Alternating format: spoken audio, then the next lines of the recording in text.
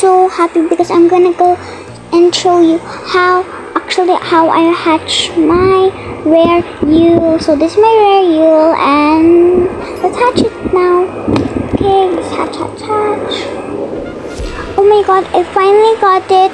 Um, yeah, basically, um, the Festival of Yay season is already done, but I got it before that. I actually breeded another rare Yool. If you guys didn't know, I actually thought that I breeded a normal Yool, but yeah, at least I got two rare Yools. Okay, that's all for today's video. Bye.